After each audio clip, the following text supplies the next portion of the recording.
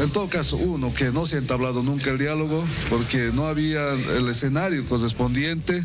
Es por eso que nosotros hemos retornado nuevamente a las bases y se ha hecho una evaluación acá. Posterior a esta evaluación, ya nuestros hermanos representantes de las 17 regionales han sido, ¿no? Ellos se han comisionado para bajar a los diferentes sectores, socializar esta situación y ya para el día lunes ellos van a estar con una respuesta contundente para ya fijar de aquí en más qué medidas más de presión vamos a tomar, con qué organizaciones más, representantes también del sector de Yungas, entre organizaciones e instituciones vamos a contar para tomar una, una determinación y así de esa manera poder masificar nuestras medidas. Es decir, hasta el día lunes habría un cuarto intermedio a las medidas de presión. Estamos acá en vigilia, día tras día, noche tras noche, vamos a seguir acá.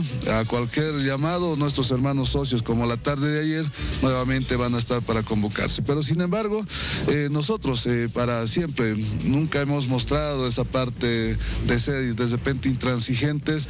Hemos ido, hemos querido asistir a esa invitación. Aún estamos con esa predisposición de que eh, podamos participar en un diálogo, pero sincero con esta autoridad que es el ministro de Desarrollo Rural y Tierras, porque es la única autoridad de acuerdo a ley que regula el tema de la comercialización y nosotros queremos que no haya un descontrol en tema de la comercialización. Es por eso que hemos pedido a su autoridad que cierre el mercado ilegal en la zona 1 de Villa. Señor Alanes, esta tarde se daba como victorioso luego de esta reunión. ¿Usted qué opina al respecto?